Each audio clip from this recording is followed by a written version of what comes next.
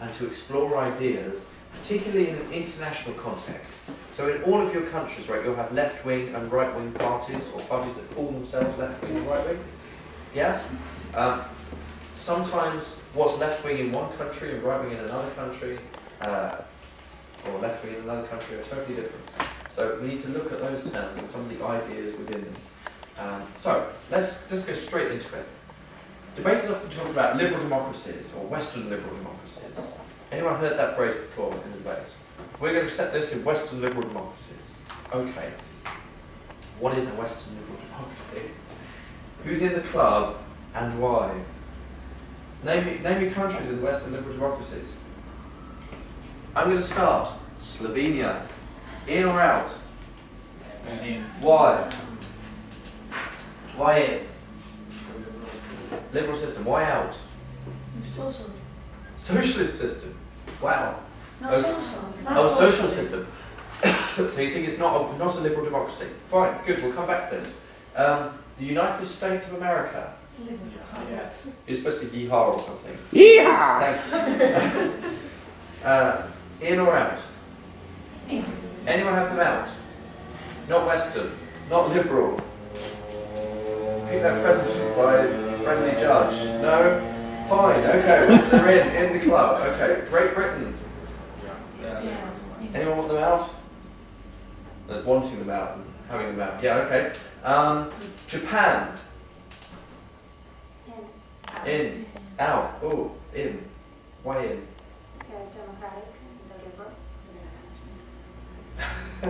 Though they, they're not really Western. Western. They're not Western enough. Okay. It's not. What's Western? Oh, yeah. High Western. Like, Yeah. Yeah. like, Is it meant for type or not? Yeah. Oh, okay, let me try and settle this.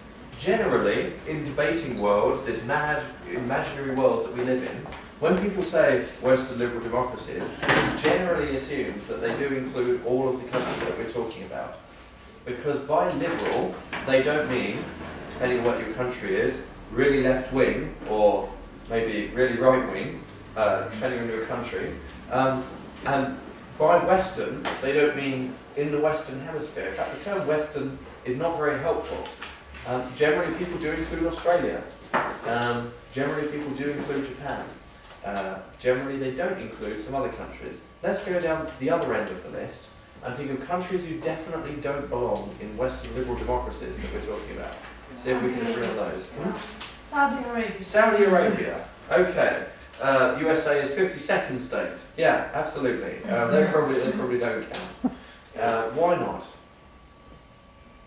They're Well, not- really because for democracy. Why Why not not democracy? liberal. Because of the king and all that. Yeah. Right. Okay. Um, anything else about their system which makes them in another category? They're, Muslim. it's just that Hmm? they're- it's not liberal. Okay. That is not country. Islamic countries. Are all Islamic countries not democracies? Turkey. Turkey is dem- a democracy. So being Islamic wasn't isn't too helpful. But it's a kingdom, it's not democratic. Okay. Uh, so is half of Europe. But that's yeah, But absolutely. with European countries, even though you have the kingdom, you still have democracy. Good. Okay. Probably some things about massive human rights abuses that you generally throw in there too. Um, any other countries that are definitely not Western liberal democracies? What about Cuba? Is Cuba a Western liberal democracy? It's in the No. West. It's. You think it's a dictator? Okay. Anyone disagree? Yeah, well, uh, actually, I would come up with the case of Venezuela, and the thing is that what really, really bugs me is that I think that most of the people believe that a democracy is a system where people vote, where people vote in Cuba, you know, but it's not liberal democracy, nothing, and that that's that comes with a with a you know with a possibility of transfer transfer uh, transferring the power with the independence of the public powers, and that, that, that, that. it's not just voting. Good. This is really helpful stuff. So what other what other kind of things is it then? It's Inde- not just voting. independence of the powers, uh, uh, Which powers? Pub- the public powers like uh, like the legislative and the judicial powers, in indep- being independent from the executive I power. just want to check everyone's with this. They probably are, but I want to check. Checks and balances.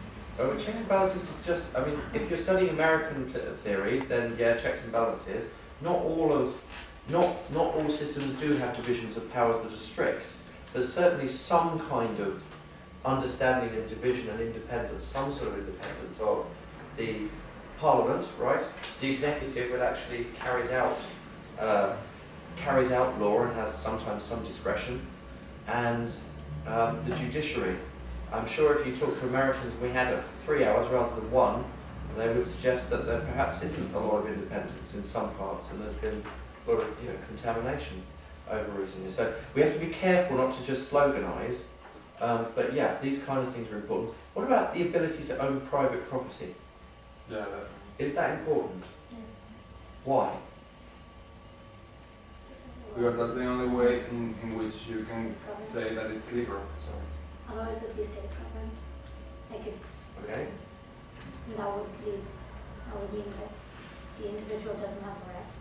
Yeah, but doesn't liberal by default assume that each individual has a certain amount of rights that you know, by default he has and cannot be changed? Anyway, I, I, I think it's time to start agreeing with things. Yes. yes, I'm going to stop throwing those two opinions. Yes, it does.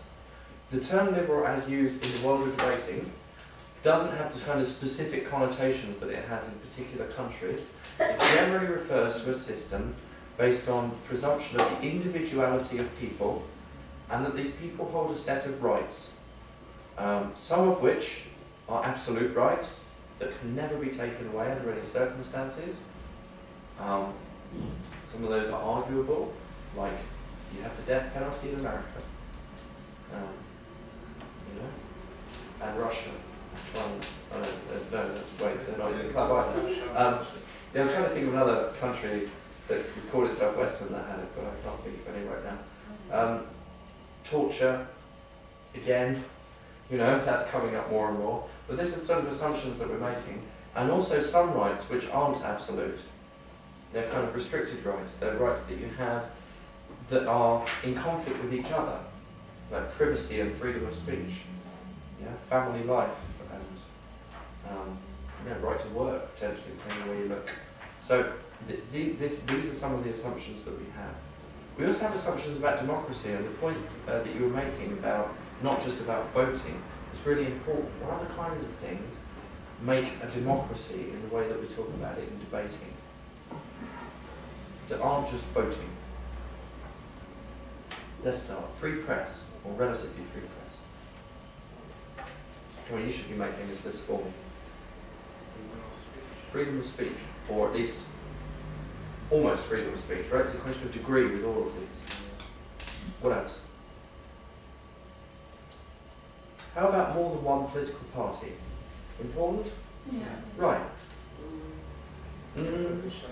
You could theoretically, without it being someone's fault, end up with one party as a coincidence. And that would not necessarily not make it a democracy, although it's hard to believe. I- if this were a political theory class, I would go, that's a really interesting perspective. What debating? Otherwise, no. Yeah. Word debating, that is not a shared assumption, a shared assumption. That's all I can say. Yeah.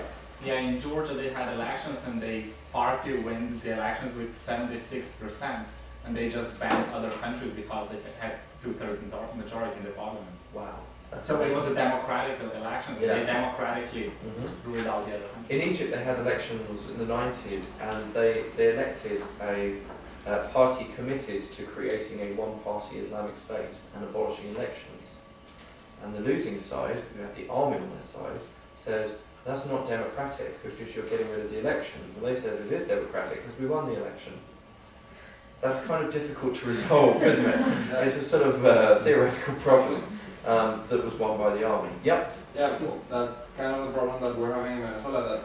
That the, the, he's wanting, want, he wants to have an election on where they're going to pass a constitutional amendment, and the constitutional amendment establishes uh, like the losing of you know absolute rights in, in certain exception states and stuff like that. So the changes that are being ma- uh, made are undemocratic, but you know he wants to pass it through that democratic uh, way, which is the voting. So Yeah. can you can you can you ensure and uh, can you ensure the rights that maybe people don't want to have? I mean, let's look at Iraq. Iraq under Saddam Hussein had elections, elections for president, elections for all sorts of local uh, levels of government. it had referendums on things. Um, was it a liberal democracy? No, no, not in a million years. Uh, Soviet Union had elections. And It was Pakistan.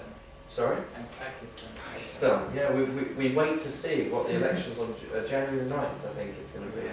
will be like, and who'll be who'll be in them. The opposition says it won't be in the elections. Really difficult. Um, at the other end of the spectrum, what do we call non-democracies? I mean, in debate world, you often hear, I keep banging on this, but dictators are bad people who like violating human rights and eat babies for breakfast. In dictator world, and all dictatorships are always the same in the mouths of debaters. Have you noticed that? You know, it's sort of, yeah, this bad man, he's in charge of everything. Nothing happens without him knowing. Imagine this man with a brain the size of a room and eyes everywhere. Um, so many countries are just incredibly different. Is Pakistan the same as Iran, the same as Iraq, the same as, you know, Malaysia, the same as South Africa, the same as Britain? No, we're all different individual countries. Um, so what kind of ways can we describe different kind of political systems in the world? Are there any communist countries left, do you think? No. You think China? Cuba. It's not really communist. Not really communist. Tell me about that. Well, China calls itself No, communist, they're not that. but it's Yeah, turning The guy, the capitalist. guys. Is it? So And what does that it's- mean to you? It's capitalist in the sense where it's hand, it's privatizing a lot of um, areas, and it's it's basically a business kind of like its business is start thriving, right? Because of privatization. Uh-huh. So, I mean, it has media, it's, it's controlled by them, but they still, they're being more and more flexible, so it seems like they're heading away from that. Okay, capitalism and communism basically is all about who owns stuff. Um, if, if individuals and companies own stuff, that's more capitalist. If the state owns and controls stuff, that's more communism. Confusing thing about the world is, was compared to 100 years ago, where, I don't know, in 1900 Britain, 7% of the national wealth was taxed and spent by the government. In capitalist Britain, something like 45% of the, the wealth of the country is taxed and spent in Britain. Um, and in other countries, you know, France is about 50%, even in America it's somewhere, depending on how you count it, sort of 35 to 40%. Um, so, capitalist countries are a bit capitalist, you know, and we, that's how we describe them in the world of debating. It's very complicated because we've grown in such a way, all of the countries of the world, uh, at least the ones that have any kind of government, where taxes are really and spending are a really important feature of them, even though they keep the same name, liberal or capitalist society. So I suppose the overview for this is these terms are fraught with difficulties. Use them carefully. Be clear about what you're saying, and don't rely on the label. Don't get yourself into a debate where you go, yeah, but that's because that's just a communist country, and therefore, you know, they're all green and live underground or something. You, can't label your way out of a debate. Be subtle about this. Okay, is there such a thing as a social contract? Next question. Sorry. Pardon? Is there a social contract? All debaters tell me there's a social contract. According to Ricky and there isn't. Well, that doesn't make it true or untrue, does it? Um, Can you explain what you mean by social contract? exactly. Exactly the question I'm asking. Yeah, yeah, absolutely. Can someone try and explain? Eh, Who, who uses the term? Who sometimes More says? like a symbolic expression to show white people, you know, live in a society, in common. Okay, so what is that explanation? This symbolic explanation? From, from a sense, you can say the social contract is when you vote someone. Because when, when you vote a government, when you empower a certain government, that's a f- not very specific, not very exact contract, but it's a form of contract in which you give them power to act, to impose law in your name. Okay, I'll say one thing. We'll look at that, what you're saying. That's a very controversial definition of what the social contract is. Um, but let's look at it, um, and then we'll see if there are others. What about the majority of people in mo- most countries, apart from except Georgia, apparently, um, the majority of people don't vote for the person who wins or the governing party.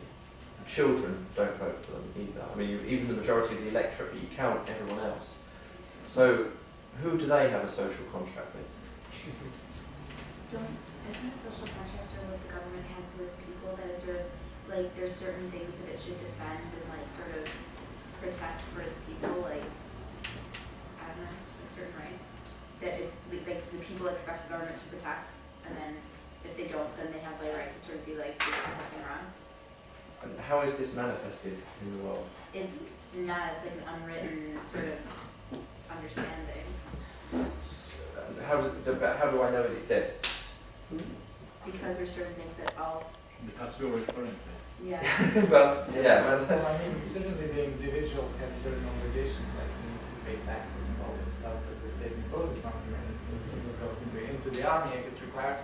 And all the state has certain obligations towards him, like, I mean, the, the national health system, uh, protection, the security, all that stuff, so it's kind of intertwined. okay.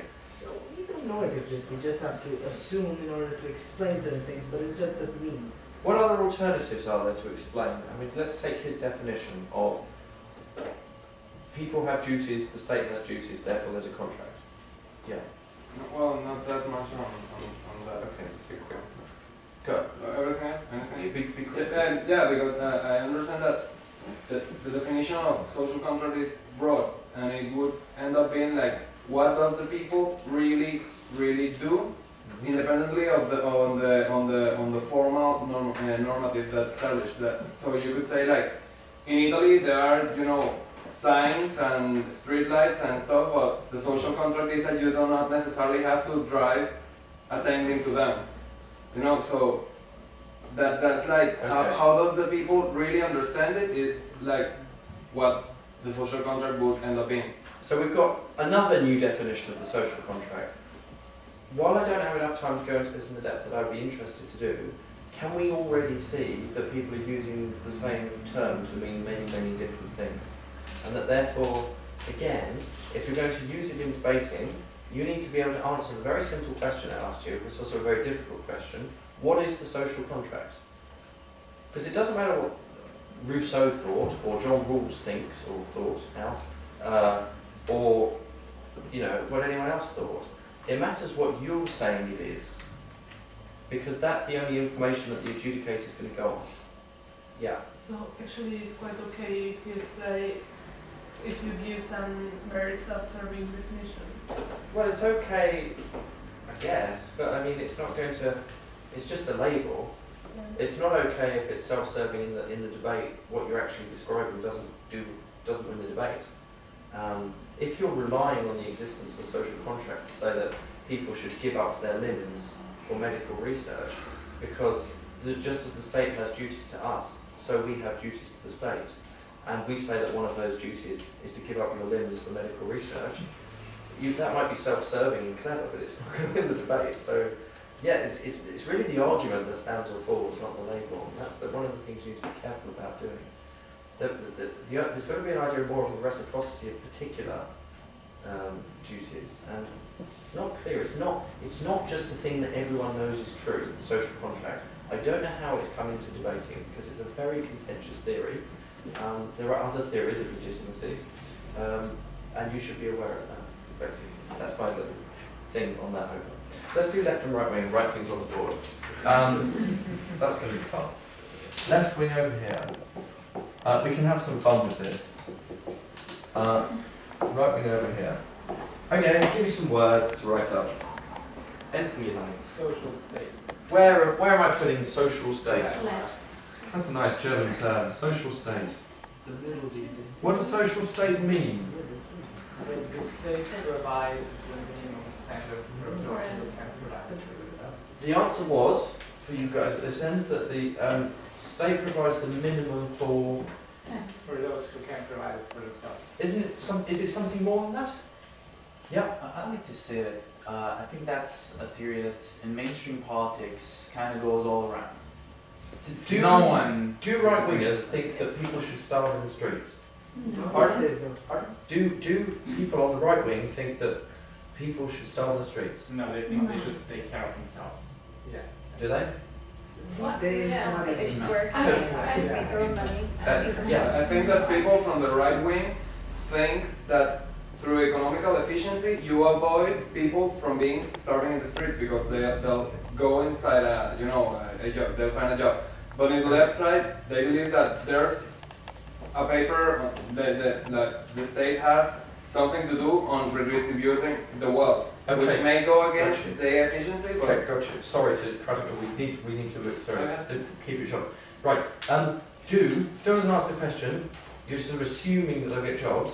Do right wingers actually, do right wing, who are these right wing countries anyway? Who's a right wing country, do you think? Slovenia. Slovenia. In Slovenia, if people are so poor that they can't get a job and can't Ah, feed well- themselves, are they allowed to die on the streets or is something done? Does the You- you- government do something? You, you can't say that Slovenia's left is right wing because all the parties have it in Yeah. the first sentence, sentence that they are social parties, so, uh, they also are social, Can someone give me a party in the world that answers my question? Hong the Republicans. Hong Kong. There's no, there is, uh, in the Western world especially, it's perceived that conservative parties are, uh, well, right, right-wing parties. And the conservative parties base nothing on, uh, on, Forgive me, if this isn't going to answer my question. yes, I'm, I'm okay. saying that right-wing parties, as they're perceived in the Western world, do, uh, hold that kind of policy, and only libertarian or classical liberal parties, which are very small in the world, Hey, actually say that you shouldn't have social security. view from America. Republicans would say if you starve to death in the street, it's your fault. But would they say it like on the TV? Like They you know, say they, they would say that in America we have equal opportunities and everyone has the equal opportunity to succeed and if you don't succeed, it's probably something that you've done wrong. That would be a Republican view. So where are we writing America on? Yeah. no, it, um, let's let's get. I think that's good. We, let's get some more words up. What about what's a welfare state? That phrase is used in debating, particularly by Britain and England. England.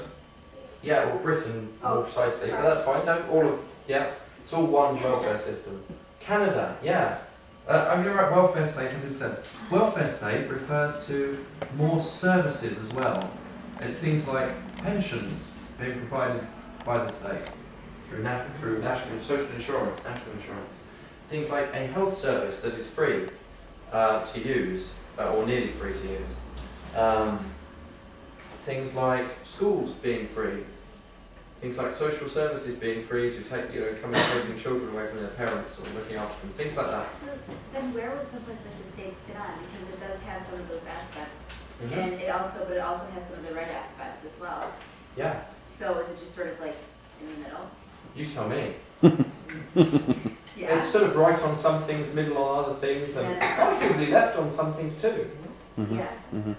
So is it left, right, middle? I don't know. Well, let's say culturally, okay. know. We would be, Um, forgive me, how many people here would describe themselves as being from Eastern Europe? Okay, would it be fair to say that public opinion of, for example, black people in your countries, if you walk down the street with a black person, would be that you would get comments and things like that happening? Would you expect that to happen, or would people just look away? Fair, fair, fair point? Yep. Um, not, no judgment on those countries, but cultural norms.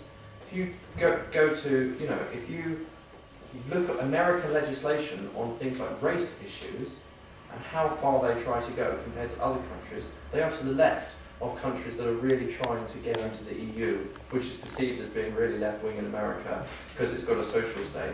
And you have this sort of, like one of those staircases you can draw that just keeps going up. Yeah, you just keep shifting the issue, and everyone's to the left of you on something or to the right of you on something. So th- I suppose this is what this is trying to show that this is an inadequate way of seeing the world. But let's keep trying to do it anyway. It's fun.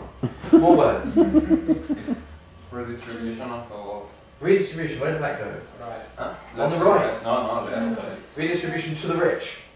Is that what you're thinking? Yeah. Didn't he say religion only? I mean, the Redistribution. Oh, right. Redistribution of wealth. agree with the religion, sorry. That's okay. please. Yeah, redistribution on the left, yeah. Okay. How do we do redistribution? How do governments do it? Tax the tax. wealthy more. Taxes. by tax policy. Yeah. Okay. Oh, Can we put some things on the right? Tradition.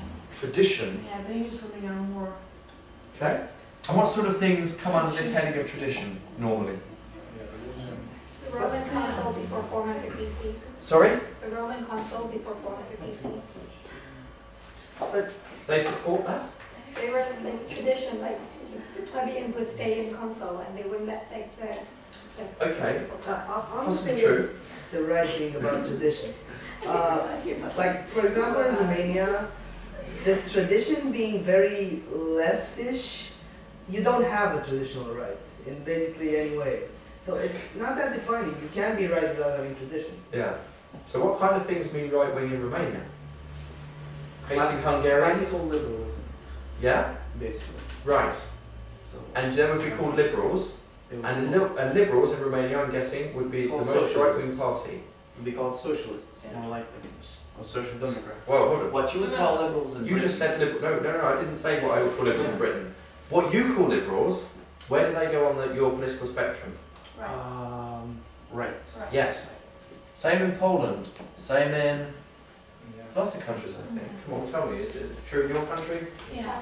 Right. They tend to be free market, cut taxes. We want a flat tax. We want to have more business coming in. We want to take away regulations. Mm.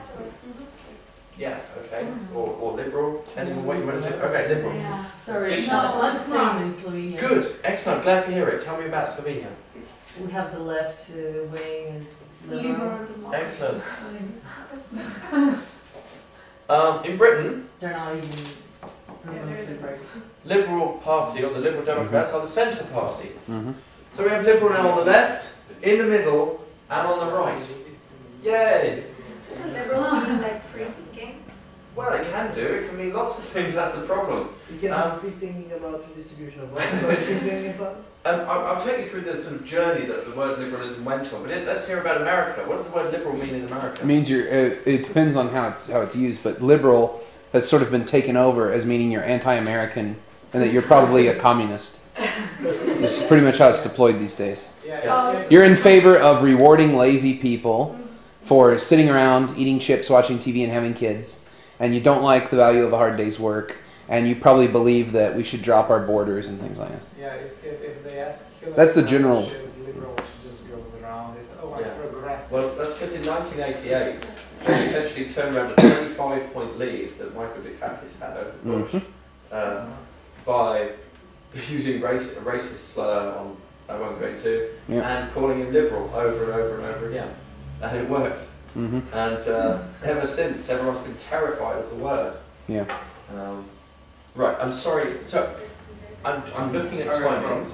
Right. What does this show us? That It's- everyone wants to be liberal. Right. So the term liberal democracy, the term liberal democracy does refer broadly to a set of systems that people would generally agree who's in and who's out. That does not mean that the term liberal necessarily refers to liberal democracies. It depends how you're using the word, and so you have to be specific about how you're using the word.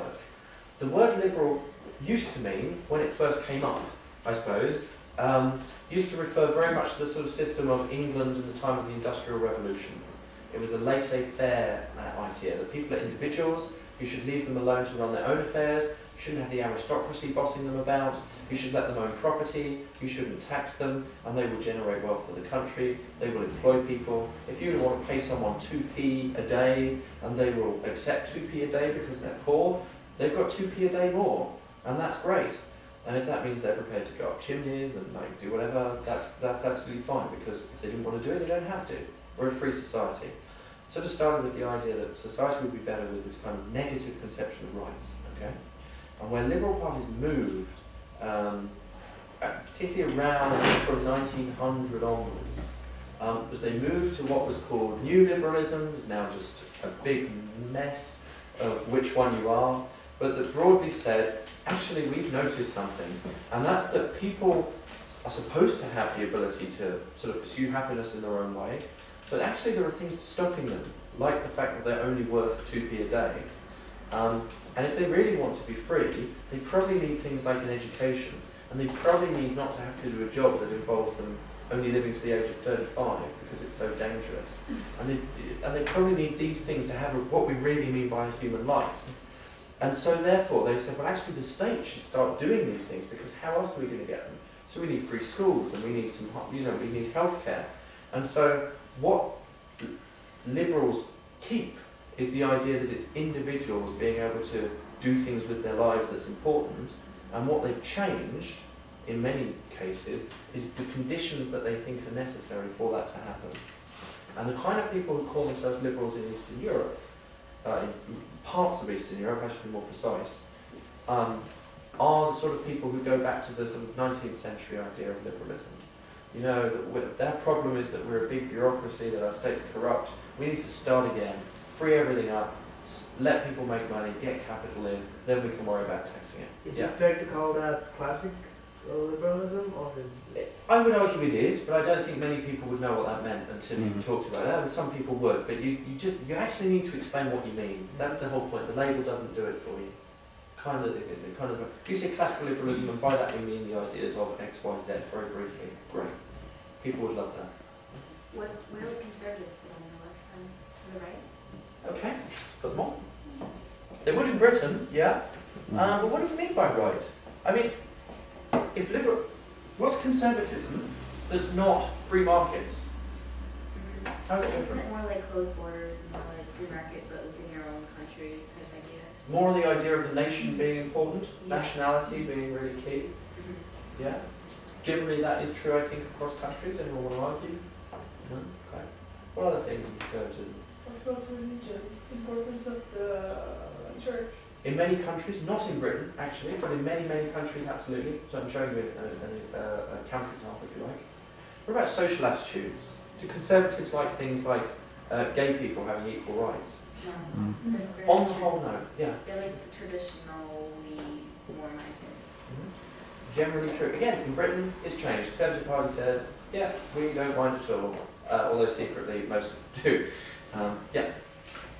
Uh, well, I was going to say that the point about the um, conservative being free market loving, that's that doesn't go around everywhere. Because, for instance, in Romania, I I think it's around most parts of Eastern Europe, conservatives or people that we label as conservatives are kind of the same as Western conservatives on social issues, but they're also kind of socialists. Mm-hmm. So there's national socialists, nationalist Careful. socialists. Yeah. Um, I think I see what you're getting at. In Germany, the so-called, you know, the conservative, the Christian Democrats, if you like, that what they're conserving is a, a system which has lots and lots of state protection, right? They're not saying rip up and start again with the new German constitution. So it is a very difficult term. In Russia, in the Soviet Union rather, the people who wanted to keep the Soviet Union together and communism going were labelled by the press the conservatives. Um, and actually, the conservatives in our part, in our country, complained to the BBC that they were using the term conservative to describe hardline Soviets, which was very funny. um, their, their complaint was rejected.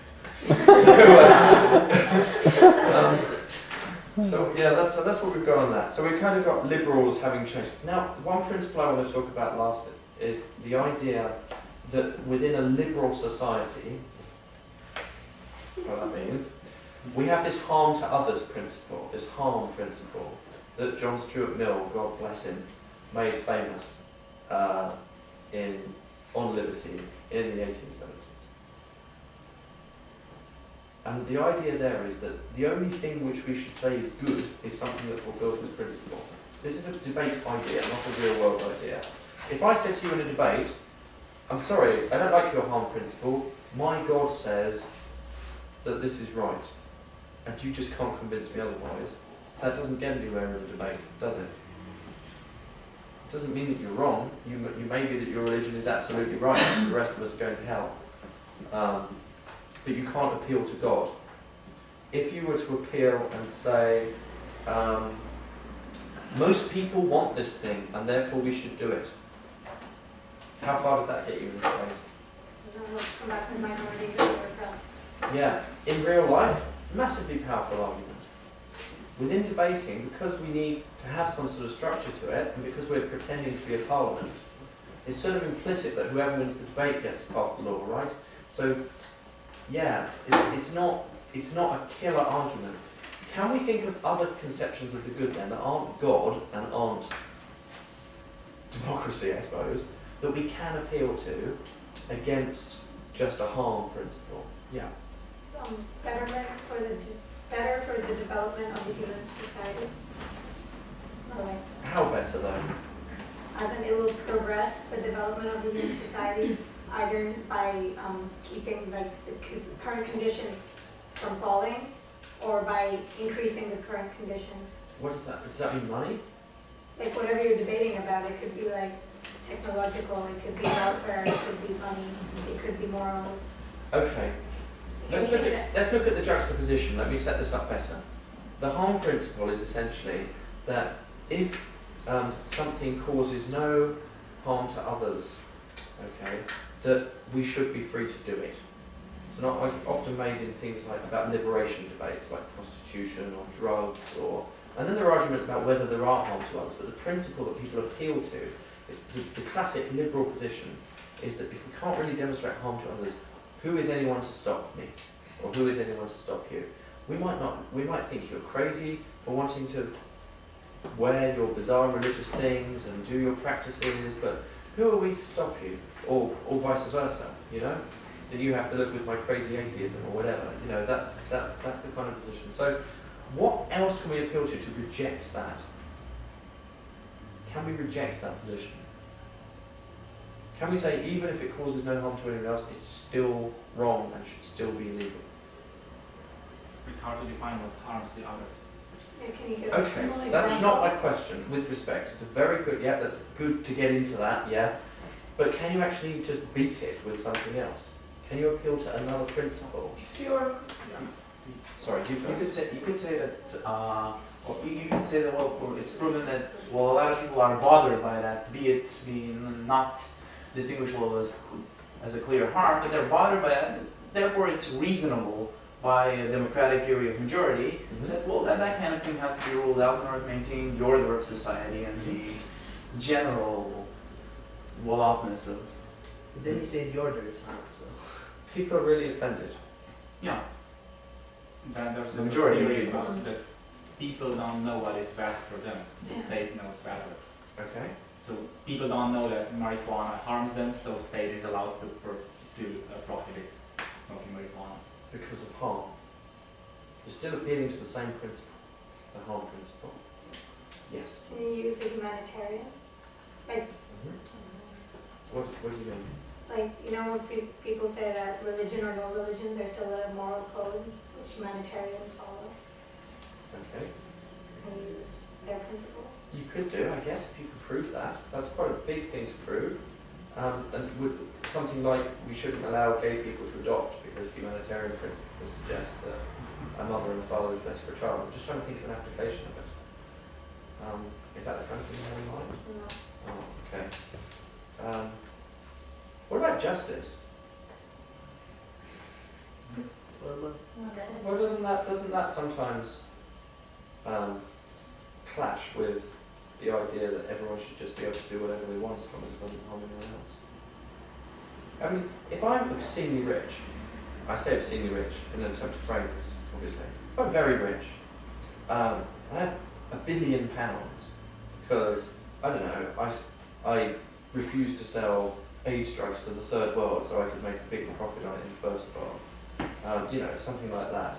Um, and I say, well, look, how I spend my money is only my business. Once I've paid my basic taxes to cover things, um, how, did, how does the harm principle say that I should really like contribute anything to anyone? Yeah. But you're harming the third world country that you're not selling the drugs to, and you're harming the people of your own country by having so much money. Okay, if you, under, if you understand if you understand the harm principle to mean whenever you spend your money and don't give it to the third world, you are breaking the law, then our country would be very different. That's not how we mean the harm principle. The harm principle is actually it's not it's, it's, it's um it's more than just opportunity cost. It's actually doing something that physically or mentally really like or, or their rights are taken away. Now, if you can demonstrate a rights claim, if you can demonstrate that everyone in every country has a right to something, then you might have a claim to say, my right to my money is not as big. And that's one area. There's one you've picked out, I guess, rights. Rights are areas where you might, it's not the harm principle, or where the harm principle might be outweighed, because some You use indirect harm. uh, indirect harms. Well, you're saying it doesn't fall under harm principles, Yeah, I, I am. someone's still being harmed.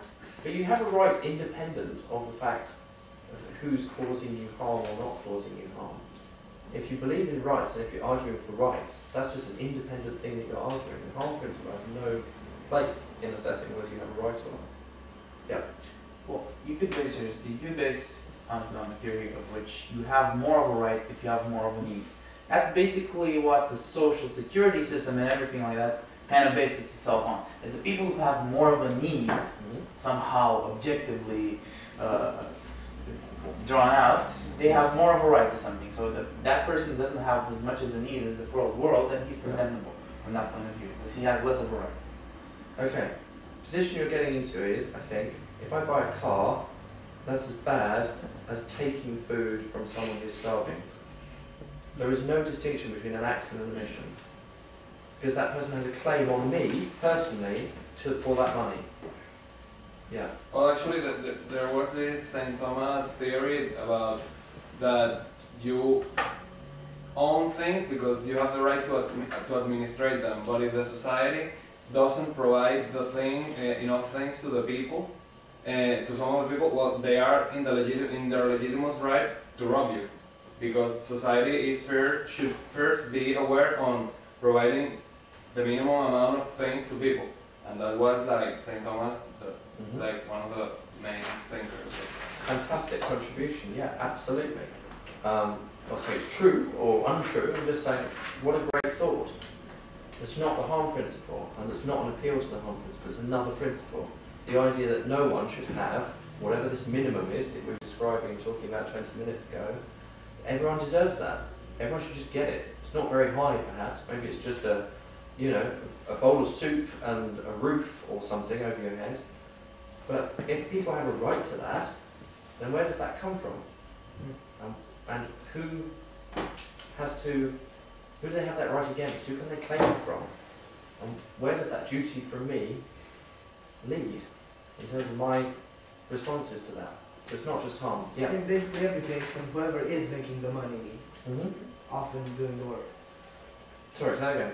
So often they can demand their m- minimum level from whoever is doing the work and producing something one way or another. That's where it comes from, and that's how it could, without direct harm, identified. Yes, but directly they're asking it from the state. From the state. Right, we're, getting, we're teasing these issues out. What about nationalism? Does, does the nation have a special place in our hearts? No nationalism. I was quite shy. I'm in the wrong part of the world for this question. um, yeah, okay. Um, can we appeal to nationalism or to the nation as some independent entity with independent rights or independent sense of something in a debate, As opposed to what? Hard. as opposed to bunches of people getting together, yeah, individuals just out there with their harm principle in a globalizing world. Then you could, yeah. How, what is that? What is the nature of that? That like the nation has a certain right, like to be protected from other nations and whatnot. Like it's almost like a group of people, but it's like bigger than a group of people because it holds more things. Who believes nations have a right to self-determination? One, two, three. Who believes nations don't have a right to self-determination? No. Some of you are just not here. Okay. the self-determination. Um, the rights to, um, that if they want to uh, have their own state and determine their own affairs, Pardon? have their own state and organise their own affairs. Do you mean like states that are already existing, or do you mean pieces that want to break off, like the East Timor case? I guess if they want to break off, I mean, just what I say, nations, if you can identify a nation. Yeah. Well, what, what I understand by nation is uh, the whole com- the whole complex of uh, the past, the generations, the present, and the future. Mhm. And that's not really tangible, but still, I, I, I for example believe that people have, I mean, uh, that people have has uh, the right to. Is it like a sports club though? Is it just sort of, I quite fancy having a low tax, socially liberal country. Who's in? Yeah, let's get some land.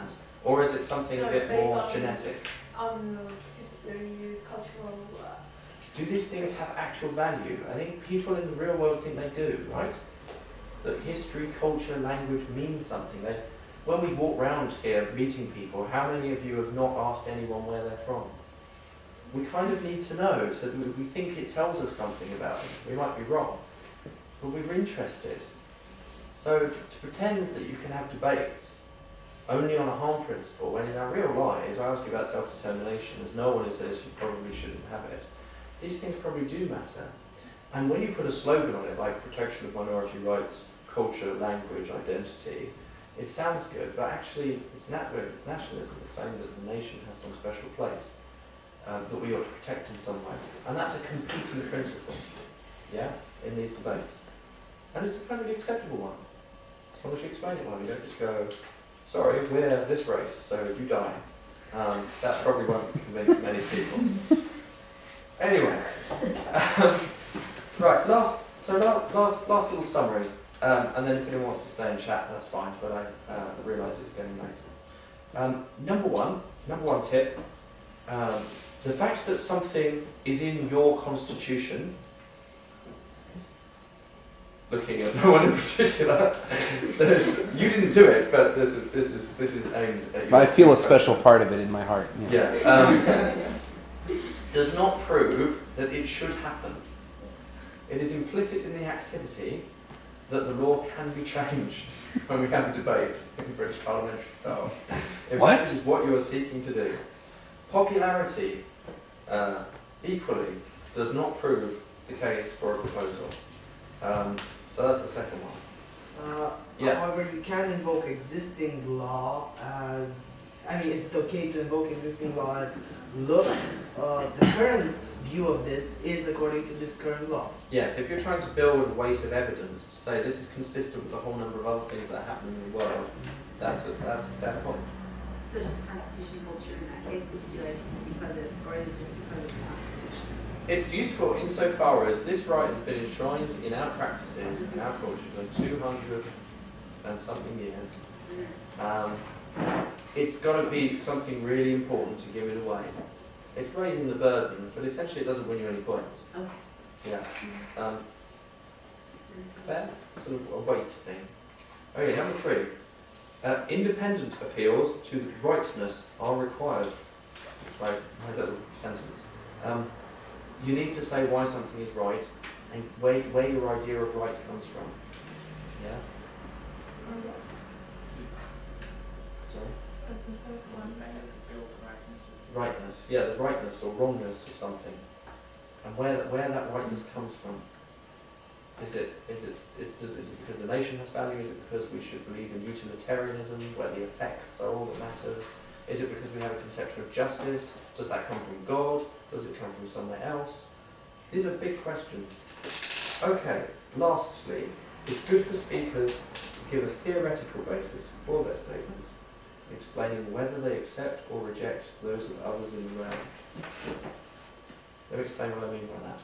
Propositions say, Mr. Speaker, we're just utilitarians. We don't care that we're going to have to kill people we think are terrorists anyway, because we're going to save a million people because we know where the bomb is, they know where the bomb is, all that shit, all that shit.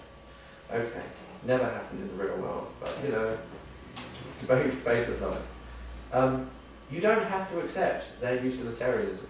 You don't have to go, um, ah, but those people will have to live with themselves and the torturer will have to live with himself. You can argue that too, but that's yeah, fair enough, engage with them, that's good. But you don't have to limit yourself to that. You can explicitly reject their principles and put up principles of your own, such as we think that people have rights. We think that those rights come from X or Y, and we think that it's important not to lose them because of Z and A, and therefore we think that this should happen. That's a good thing to do. It's a really good thing to do because it's exciting. Principles being discussed properly. Really, really great. Makes debate so worthwhile and learning experience and wonderful. And it relates to the real world in an amazingly important way. So, we've learnt, number one, that life is confusing. Number two, politics is confusing. And number three, don't just use labels in debate, analyse things. Number four, countries are all different. And what's left wing in one country isn't necessarily left wing in another country. And the same goes for right wing, and the same goes for centrist, and liberal, and socialist, and communist. I'm just trying to remember the people taking notes. Um, all of these words are, uh, are, are hugely contentious.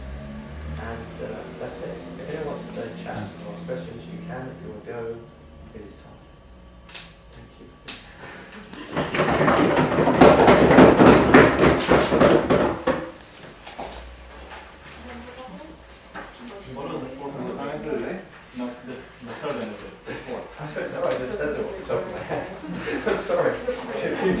どうも。